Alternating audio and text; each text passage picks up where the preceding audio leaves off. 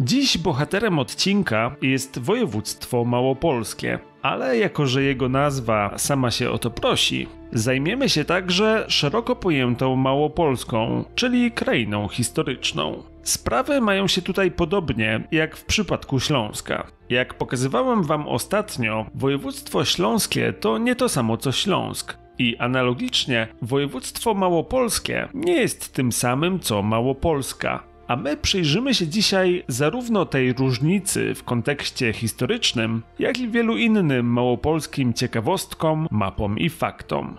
Zachęcam Was do subskrypcji, pozostawienia dzwonka i łapki w górę. Pod koniec tego odcinka opowiem Wam jeszcze trochę o moich przemyśleniach dotyczących tej serii. A teraz zapraszam na film o bardzo ciekawym zakątku Polski. Część pierwsza Małopolskie. Zacznijmy od kilku podstawowych faktów związanych ze współczesnym województwem małopolskim. Jest ono położone na południu naszego kraju i graniczy z trzema innymi województwami: śląskim, świętokrzyskim i podkarpackim, a także ze Słowacją. Rozciąga się na dystansie około 150 km z północy na południe i ze wschodu na zachód. Jest tym samym jednym z najmniejszych województw w Polsce. W rankingu uszeregowanym według powierzchni zajmuje dopiero 12 miejsce, ale co ciekawe, mimo tych małych rozmiarów, jest jednocześnie czwartym najbardziej ludnym spośród województw. Mieszka tutaj około 3,5 miliona osób, to znaczy niemal tyle samo co w Wielkopolskim, które jest obszarowo prawie dwa razy większe od Małopolskiego. Pod kątem gęstości zaludnienia Małopolskie zajmuje drugie miejsce w Polsce i ustępuje jedynie województwu śląskiemu. Mieszka tutaj zbliżona liczba ludzi co w całej Bośni i Hercegowinie albo w Chorwacji, choć obszarowo jest ono zbliżone do znacznie mniejszej Czarnogóry. Warto też dodać, że jest położone w ciekawym miejscu na mapie Europy, bowiem w promieniu 220 km od niego znajduje się aż 7 innych niż Polska państw, to znaczy Austria, Czechy, Słowacja, Węgry, Rumunia, Ukraina oraz Białoruś. Województwo małopolskie jest podzielone na 19 powiatów oraz 3 miasta na prawach powiatu: Kraków, Tarnów i Nowy Sącz. Kraków jest oczywiście stolicą tego województwa. Jest to obecnie drugie największe miasto w Polsce, liczące według danych GUS z końca zeszłego roku około 800 tysięcy mieszkańców. Z kolei Tarnów i Nowy Sącz, czyli stolice dwóch dawnych mniejszych województw, są wielokrotnie mniejsze od Krakowa, ale wyraźnie większe od wszystkich pozostałych miast w regionie. Tarnów przekracza 100 tysięcy mieszkańców, a Nowy Sącz 80 tysięcy. W województwie małopolskim ciekawe jest także to, że jak na tak mały obszar istnieje tu bardzo dużo miast i miasteczek, ale oprócz trzech wymienionych, wszystkie inne są stosunkowo małe i żadne z nich nie przekracza liczby 30 kilku tysięcy mieszkańców. Największe w tej grupie są Oświęcim, Chrzanów i Olkusz na zachodzie, a także Nowy Targ na południu. A z pozostałych warto wymienić niewiele mniejsze Bochnie, Wieliczkę, Gorlice, Zakopane i Skawinę. Skawina liczy 24 tysiące mieszkańców i jest największym miastem niepowiatowym w regionie.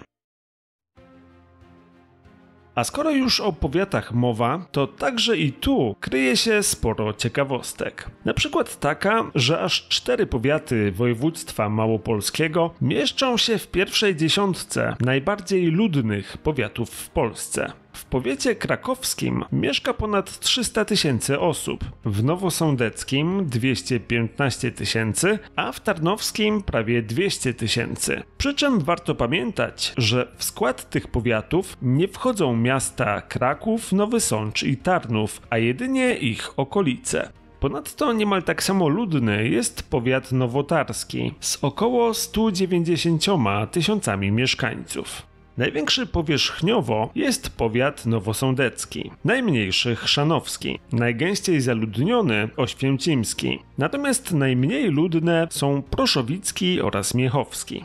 Na szczegółowej mapie gęstości zaludnienia widać zresztą, że właśnie tutaj, na północnych rubieżach województwa, zagęszczenie ludności jest mniejsze, podobnie jak w części obszarów górskich. Natomiast najwięcej ludzi mieszka w Krakowie i innych wymienionych miastach, a także w zachodniej części województwa. Powiat krakowski wyróżnia się także tym, że posiada eksklawę, to znaczy gminę i Gołomia Wawrzeńczyce, oddzieloną od reszty tego powiatu wąskim przesmykiem. Ponadto kilka powiatów ma ciekawe nazwy. Sucha Beskidzka jest stolicą powiatu suskiego, Zakopane powiatu tatrzańskiego, jednego z trzech w Polsce, których nazwa wzięła się od pasma górskiego. Natomiast powiat brzeski ze stolicą w Brzesku może być łatwo pomylony z powiatem brzeskim ze stolicą w Brzegu w województwie opolskim. Część druga Małopolska. Od czasu powstania województwa małopolskiego bardzo powszechne jest stawianie znaku równości pomiędzy nim a terminem Małopolska, i to nawet w publikacjach urzędowych. Ten trend jest trudny do uniknięcia i bardzo możliwe, że z czasem utrwali się jeszcze bardziej. Ale warto pamiętać, że jeśli mamy na myśli Małopolskę jako krainę historyczną, to takiego znaku równości postawić nie możemy. I są ku temu dwa powody. Po pierwsze, chociaż zdecydowana większość województwa faktycznie należy do historycznej Małopolski, to istnieją tu także fragmenty innych krain, to znaczy przede wszystkim Orawy i Spiszu, których zdecydowana większość położona jest na Słowacji. Ponadto zachodnia część województwa pokrywa się częściowo z obszarem dawnego księstwa oświęcimsko-zatorskiego. Ten obszar jest już od dawna zaliczany do Małopolski, ale warto też odnotować, że w przeszłości należał do Śląska i w pierwszej Rzeczpospolitej istniał tu nawet powiat o nazwie Powiat Śląski, wchodzący w skład województwa krakowskiego.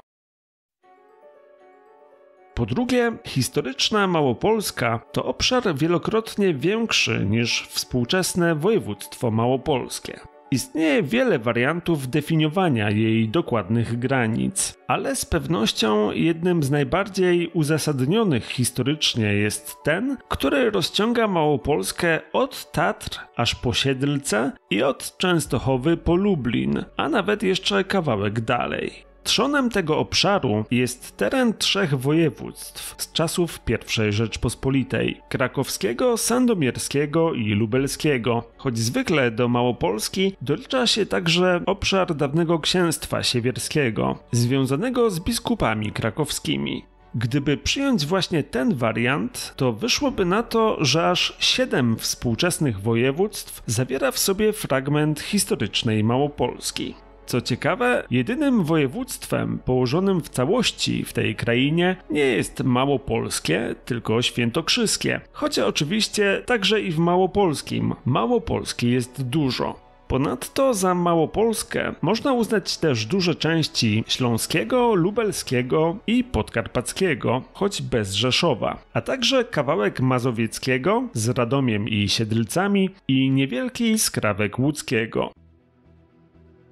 Oczywiście taki kształt małopolski może się wydać niektórym osobom co najmniej nieintuicyjny i to z wielu powodów. Po pierwsze, granica zachodnia przecina województwo śląskie w taki sposób, że prawie połowę jego obszaru zajmuje Małopolska. Opowiadałem o tym w odcinku Ukryte granice o województwie śląskim, więc po szczegóły odsyłam do niego. Teraz przypomnę jednak, że chociaż w dalekiej przeszłości przebieg granicy Małopolskiej ze Śląskiem się zmieniał, to ten oparty na rzekach Brynicy, Przemszy, Wiśle i Białej okazał się bardzo trwały i wyznaczał przez długi czas także granicę państwową.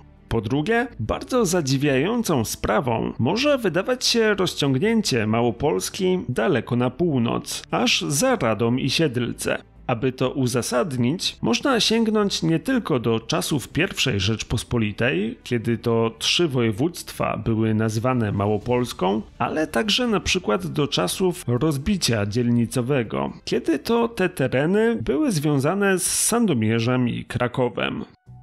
Niemniej podejrzewam, że wielu ludzi, a w tym współczesnych mieszkańców tych ziem, nawet po zobaczeniu map historycznych, mogłoby stwierdzić, że historia historią, ale oni mają poczucie, że prawdziwa Małopolska leży jedynie na południu obszaru zaznaczonego na tej mapie, a zresztą tak samo uważali ich rodzice oraz dziadkowie. Geneza takiego podejścia również jest bardzo ciekawa. I aby ją wytłumaczyć, musimy się cofnąć do czasów zaborów, kiedy to obszar Małopolski został przecięty na dwie główne części. Północna przez długi czas pozostawała pod zaborem rosyjskim, natomiast południowa pod austriackim.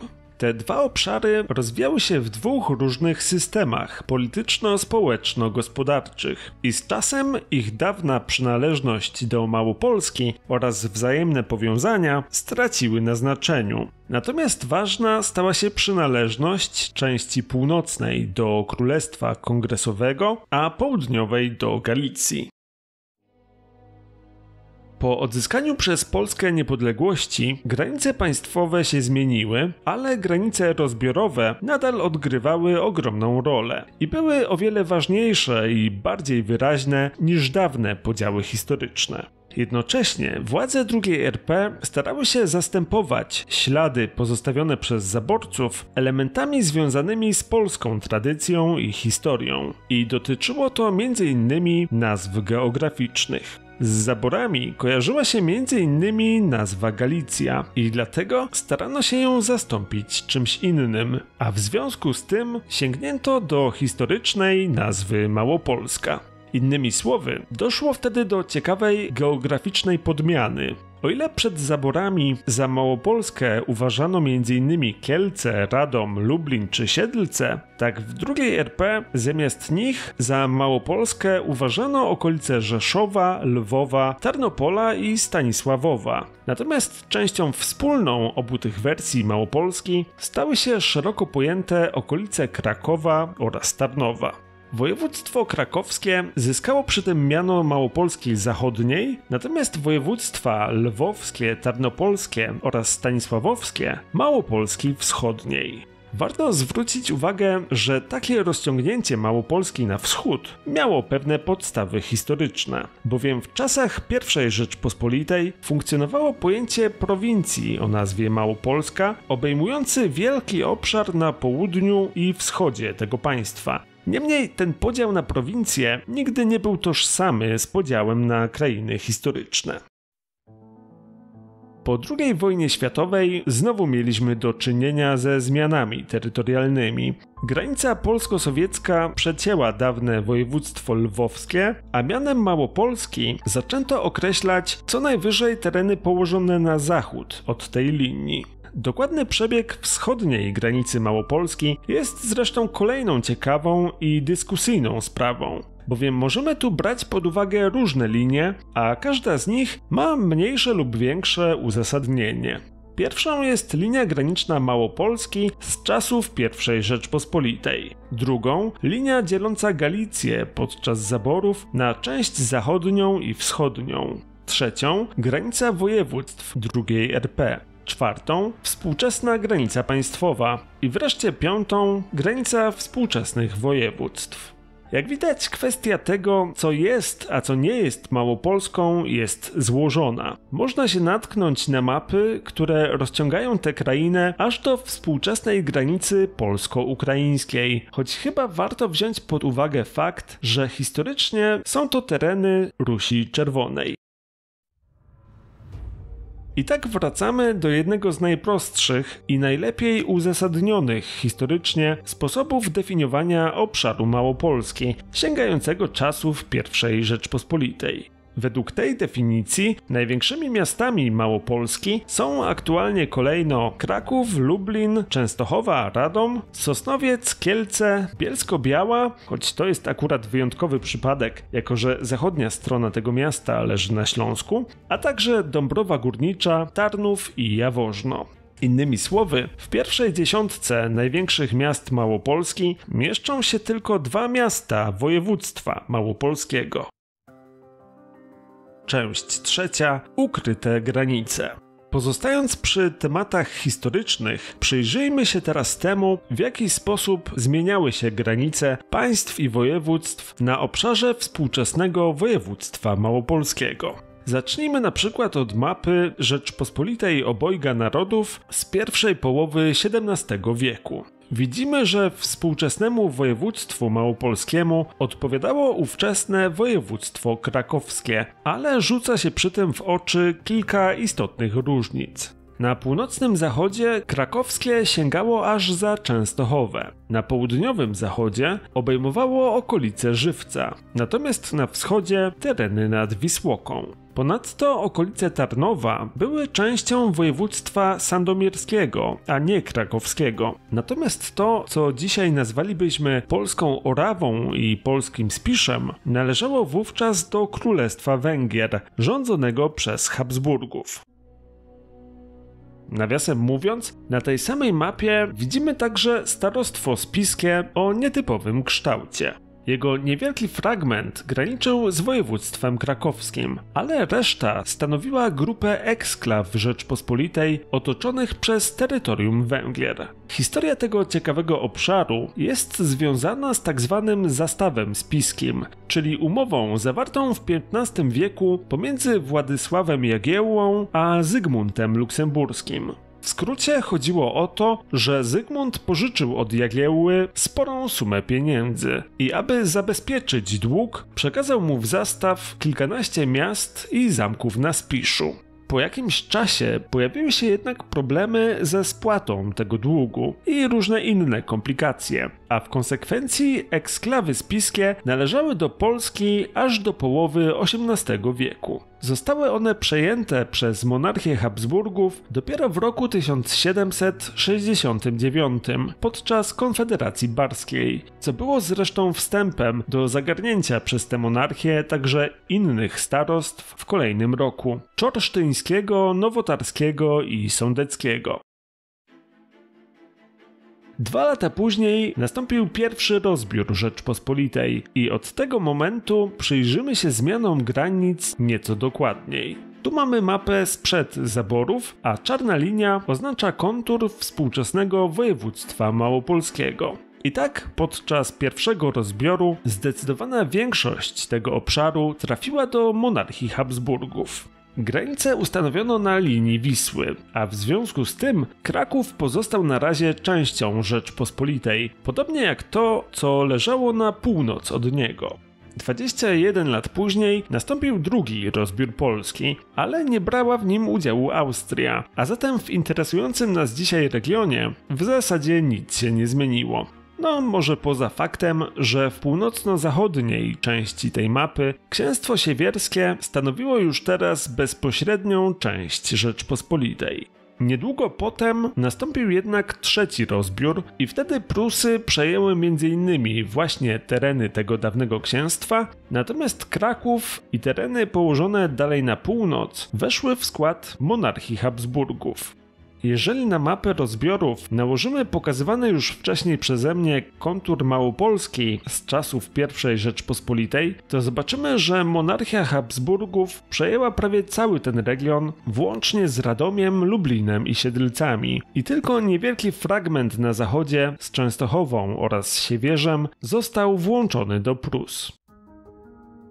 Taki stan rzeczy nie utrzymał się jednak długo. W 1807 roku, a więc w czasach napoleońskich, powstało księstwo warszawskie, de facto zależne od Francji. Początkowo składało się z ziem zaboru pruskiego, ale w roku 1809 w wyniku wojny z Austrią jego obszar został powiększony o część ziem zaboru austriackiego. Z kolei po klęsce Napoleona i kongresie wiedeńskim powstało tak zwane Królestwo Kongresowe, które w kolejnych dekadach, m.in. wskutek nieudanych powstań, stopniowo traciło swą autonomię i stało się w końcu integralną częścią Imperium Rosyjskiego. Zobaczmy teraz, jak wyglądały te wszystkie zmiany w południowej Małopolsce. Tu mamy mapę z pierwszej fazy istnienia Księstwa Warszawskiego i widać, że nie wchodziło ono na teren współczesnego województwa małopolskiego. Ale już w drugiej fazie, po wojnie z Austrią, księstwo sięgnęło linii Wisły i objęło m.in. Kraków. Po kongresie wiedeńskim ta północna część regionu weszła w skład kongresówki, ale nie cała, bo Kraków i jego okolice stały się wolnym miastem, zwanym też Rzeczpospolitą Krakowską. Większość tego państwa leżała na obszarze współczesnego województwa małopolskiego, choć mniejsza zachodnia to już współczesne województwo śląskie. Na terenie tego niewielkiego państwa leżały m.in. Jawożno, Chrzanów, Trzebinia, Krzeszowice i Zabierzów, ale Oświęcim, Tyniec, Wieliczka i stanowiące obecnie dzielnice Krakowa Podgórze były już częścią Cesarstwa Austrii. Rzeczpospolita Krakowska przetrwała trzy dekady, ale w końcu, po nieudanym powstaniu z 1846 roku, została przejęta przez Austriaków. Formalnie ten teren stanowił teraz tak zwane Wielkie Księstwo Krakowskie, chociaż można powiedzieć, że de facto funkcjonował jako część Galicji. W kolejnych dekadach wszystkie trzy państwa zaborcze ulegały różnym przemianom. Doszło do wzmocnienia władzy rosyjskiej na terenie kongresówki, przekształcenia Cesarstwa Austrii w Austro-Węgry, a także do zjednoczenia Niemiec. A zatem począwszy od lat 70. XIX wieku, można podpisać już państwa na tej mapie jako Niemcy, Rosję i Austro-Węgry widzimy, że obszar współczesnego województwa małopolskiego był przecięty jedną granicą państwową, a także jedną ważną granicą wewnętrzną. Do położonej na północy części rosyjskiej należały m.in. Olkusz i Miechów. Na południu wspomniane już skrawki północnej Orawy i północnego Spiszu należały do Zalitawii, czyli części węgierskiej Austro-Węgier. Natomiast cała reszta do Przedlitawii, czyli do części austriackiej. Po I wojnie światowej odrodziło się państwo polskie, ale dawne granice zaborów w wielu miejscach były nadal widoczne. Na przykład na tej mapie widzimy województwo krakowskie, które powstało z terenów należących dawniej do Austro-Węgier, a także fragment województwa kieleckiego, które odpowiadało południowej części dawnej kongresówki. Po nałożeniu konturu współczesnego województwa małopolskiego widzimy, że wówczas pod Kraków podlegały pewne tereny, które dzisiaj pod niego nie podlegają. To znaczy m.in. Mielec, Dębica i Jasło na wschodzie, a także Żywiec, Biała oraz Jawożno na zachodzie. Bardzo ciekawie miały się także sprawy na południu i warto przyjrzeć się im nieco dokładniej. Tu mamy mapę z czasów I Rzeczpospolitej i widzimy, że Podhale należało wówczas do Polski, ale Orawa i Spisz już do Królestwa Węgier. Oczywiście z wyjątkiem ziem wspomnianego starostwa spiskiego. W czasach zaborów cały ten obszar należał do monarchii Habsburgów, a potem do Austro-Węgier, a dawna granica państwowa odgrywała teraz rolę wewnętrznej granicy Przedlitawii i Zalitawii. Ale kiedy wraz z końcem I wojny światowej Austro-Węgry uległy rozpadowi, narodziła się druga Rzeczpospolita oraz Czechosłowacja. I oba te państwa weszły w spór co do przebiegu granicy pomiędzy nimi. Dotyczyło to oczywiście Śląska Cieszyńskiego, ale nie tylko, a kolejnymi punktami zapalnymi okazały się tereny północnej Orawy i północnego Spiszu, które były zamieszkane częściowo przez ludność polską planowano przeprowadzić plebiscyt na całym spornym obszarze, ale wobec skomplikowanej sytuacji politycznej i wojny polsko-bolszewickiej w końcu do niego nie doszło, a granica została tu wyznaczona arbitralnie w wyniku decyzji państw Antanty. Polska uzyskała niewielkie fragmenty północnej Orawy i północnego Spiszu, które nie wchodziły w skład Rzeczpospolitej przed rozbiorami. Niemniej ten podział nie zadowolił w pełni ani władz Polski, ani Czechosłowacji. W 1924 roku dokonano pewnej korekty granicznej, w wyniku której wymieniono obszary porównywalnej wielkości na zachód od Zakopanego i Nowego Targu, a linia graniczna, która wtedy powstała, przetrwała przez kolejne 14 lat. W 1938 roku doszło do podpisania układu monachijskiego i rozbioru Czechosłowacji. Władze II RP wymogły na II Republice Czechosłowackiej szereg ustępstw terytorialnych, rzecz jasna przede wszystkim na Zaolziu, ale nie tylko, bowiem dotyczyło to także wielu innych odcinków granicy, a w tym m.in. Orawy i Spiszu. Pod koniec tamtego roku do Polski został włączony m.in. dodatkowy obszar w Tatrach oraz ten fragment Orawy, który Polska oddała Czechosłowacji w roku 24. Niemniej układ granic, który się z tego wyłonił, nie przetrwał nawet 12 miesięcy. 1 września 1939 roku na Polskę napadły Niemcy, ale nie tylko, bowiem na południu w napaści uczestniczyły też wojska słowackie. Zajęły one nawet czasowo Zakopane i doszły do Nowego Targu, choć potem znaczną część tego terenu przejęli Niemcy. Ostatecznie do państwa słowackiego włączono całą Orawę i Spisz, a zatem linia graniczna wróciła wtedy z grubsza do stanu sprzed pierwszego rozbioru Rzeczpospolitej, choć teraz zamiast oddzielać Węgry od Polski, oddzielała Słowację od terytorium okupowanego przez Niemców. Mieszkańcy terenów odpowiadających współczesnemu województwu małopolskiemu doświadczyli zatem okresu okupacji na różne sposoby. Oprócz tego, co mówiłem o Orawie i Spiszu, warto też zauważyć, że region został przecięty granicą biegnącą niemal południkowo. Jego zachodnia część została przyłączona bezpośrednio do III Rzeszy, wraz z Olkuszem, Chrzanowem, Oświęcimiem oraz Wadowicami. Natomiast wschodnia z Krakowem, Tarnowem i Nowym Sączem weszła w skład generalnego gubernatorstwa, którego stolicą był zresztą właśnie Kraków.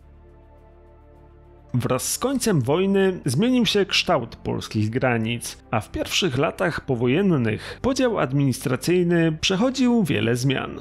Tu mamy kontur przedwojennego województwa krakowskiego, a tutaj jego zmieniony kształt z roku 46. Województwo krakowskie utraciło wtedy pas ziem na wschodzie z Gorlicami, Jasłem, Dębicą i Mielcem, ale przejęło za to okolice Olkusza i Miechowa, zacierając tym samym dawną granicę zaborów. Południowa granica wróciła do stanu sprzed roku 38, to znaczy Polska zachowała północne fragmenty Orawy i Spiszu, ale bez późniejszych nabytków. Taki kształt województwa krakowskiego utrzymał się z grubsza przez mniej więcej 30 lat, choć pojawiły się także niewielkie korekty. Na przykład na początku lat 50. doszło do połączenia Bielska i Białej w jedno miasto, a jego okolice zostały włączone do województwa katowickiego. Tu mamy mapę z roku 68 wraz z podziałem na powiaty. Mieliśmy wówczas w Polsce 17 województw, a także 5 miast wydzielonych o statusie podobnym do województwa, a jednym z takich miast był Kraków. Ponadto istniała wówczas kategoria powiatów miejskich, a w województwie krakowskim taki status posiadały Tarnów, Nowy Sącz, Jaworzno i Zakopane. W roku 1975 nastąpiła prawdziwa rewolucja w podziale administracyjnym Polski, polegająca na utworzeniu 49 województw i likwidacji powiatów. Poważne zmiany miały też miejsce w Małopolsce, a dawne duże województwo krakowskie zostało podzielone na siedem mniejszych obszarów. Kraków stał się stolicą nowego małego województwa obejmującego m.in. Wieliczkę i Myślenicę, ale już niedalekie Bochnia i Brzesko trafiły do województwa tarnowskiego. Nowy Targ, Zakopane oraz Gorlice weszły w skład województwa nowosądeckiego, a Oświęcim, Wadowice, Sucha Beskidzka i Żywiec województwa bielskiego. Z kolei na północy Miechów został przyłączony do Kieleckiego, natomiast Jaworzno, Chrzanów, Trzebinia, Olkusz i Wolbrom do województwa katowickiego. Taki stan rzeczy utrzymał się przez nieco ponad dwie dekady, ale w roku 1999 miała miejsce kolejna reforma. W pierwotnym rządowym projekcie, który przewidywał powstanie 12 województw, znalazło się miejsce dla województwa o nazwie Małopolska, obejmującego m.in. Kraków, Kielce i Bielsko-Białą, a także dla województwa o nazwie Małopolska Wschodnia ze stolicą w Rzeszowie. Ostatecznie powstało jednak 16 województw. Kielce zostały stolicą Świętokrzyskiego, Rzeszów Podkarpackiego, a Bielsko-Biała trafiła do województwa śląskiego. To właśnie wtedy powstało województwo małopolskie. Objęło ono w całości dawne małe województwa krakowskie oraz nowosądeckie, a także większość tarnowskiego, a ponadto spory kawałek bielskiego, a także niewielkie fragmenty krośnieńskiego, kieleckiego oraz katowickiego. Kształt współczesnego województwa małopolskiego przypomina tym samym dawne województwo krakowskie, ale są tu pewne wyjątki. Na przykład Żywiec, Jaworzno oraz Pilica podlegały kiedyś administracyjnie pod Kraków, a teraz pod Katowice. Natomiast Gorlice kiedyś podlegały pod Rzeszów, a teraz pod Kraków. Ciekawy przypadek stanowi też miasto Sławków, które w wyniku reformy zostało przyłączone do województwa małopolskiego, ale trzy lata później zmieniło swą przynależność i obecnie stanowi eksklawę powiatu będzińskiego w województwie śląskim. Część czwarta Geografia. Województwo małopolskie jest ciekawe także z powodu swej geografii. Przez jego środkową część przepływa rzeka Wisła. Jest to teren położony stosunkowo nisko. Na zachodzie stanowi fragment kotliny oświęcimskiej, natomiast na wschodzie kotliny sandomierskiej. Na północ od linii Wisły mamy do czynienia z pasem wyżyn, m.in. z wyżyną miechowską, a także z wyżyną olkuską, która stanowi część wyżyny krakowsko-częstochowskiej. Z kolei na południe od Wisły mamy najpierw pas pogórzy, a potem pas gór, które zajmują znaczną część województwa. Na północy znajdują się tutaj m.in. Beskid Mały, Beskid Makowski i Beskid Wyspowy, a dalej fragment Beskidu Żywieckiego i pasmo Gorców. Z kolei na granicy ze Słowacją mamy oczywiście Tatry, a także Pieniny, Beskid Sądecki i Beskid Niski. Pomiędzy tymi wszystkimi pasmami istnieją także tereny położone niżej, a w tym Kotlina Sądecka oraz Kotlina Orawsko-Nowotarska. Najwyżej położonym punktem województwa małopolskiego jest północny wierzchołek Rysów, choć oczywiście wierzchołek główny tej góry jest położony już na Słowacji. Ale warto zwrócić tu także uwagę na Babią Górę, która jest najwyższym polskim szczytem położonym poza Tatrami.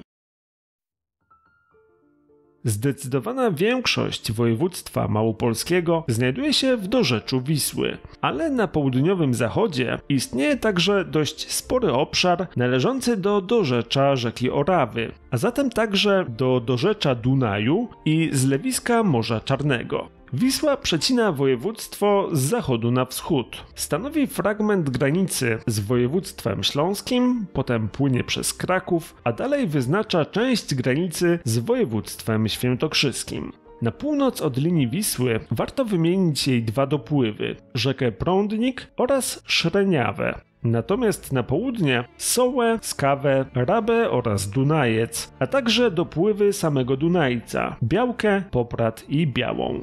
Warto przy tym zwrócić uwagę na bardzo ciekawe odcinki Dunajca oraz Popradu, które stanowią granicę polsko-słowacką. Mamy tu bowiem z jednej strony malowniczy przełom Dunajca w Pieninach, a z drugiej ciekawe zakola Popradu w okolicach Żegiestowa, zwane łopatą polską i łopatą słowacką. Nawiasem mówiąc, obszar łopaty słowackiej był jednym z wielu niewielkich terytoriów, które II Rzeczpospolita przejęła od Czechosłowacji pod koniec roku 1938. Województwo małopolskie jest pełne ciekawych przyrodniczo miejsc. Znajduje się tutaj aż sześć parków narodowych, najwięcej w Polsce, a w tym najstarszy, Pieniński, utworzony w roku 1932 oraz trzy najmniejsze parki narodowe w Polsce: Ojcowski, Pieniński i Babiogórski. Ponadto są też parki Tatrzański, Gorczański, a także mały fragment Magórskiego, położonego na granicy województw. Oprócz tego znajduje się tutaj także 11 parków krajobrazowych. W górach na południu są to Park Popracki i Beskidu Małego, na wschodzie pasma Brzanki i Ciężkowicko-Rożnowski, w części centralnej Wiśnicko-Lipnicki. Z kolei na zachód i północny zachód od Krakowa mamy aż sześć parków krajobrazowych: Bielańsko-Tyniecki, Rudniański, Tęczyński, Dolinki Krakowskie, Dłubniański i Orlich Gniazd. Lasy stanowią prawie 29% powierzchni województwa, to znaczy z grubsza tyle, ile wynosi średnia dla całej Polski. Przy czym zdecydowana większość lasów znajduje się na południu województwa, w górach i na terenach podgórskich. W województwie małopolskim nie ma w zasadzie dużych naturalnych jezior, ale są za to spore zbiorniki sztuczne, a w tym przede wszystkim jezioro Rożnowskie i jezioro Czorsztyńskie na Dunajcu, jezioro Dobczyckie na Rabie i jezioro Mucharskie na Skawie.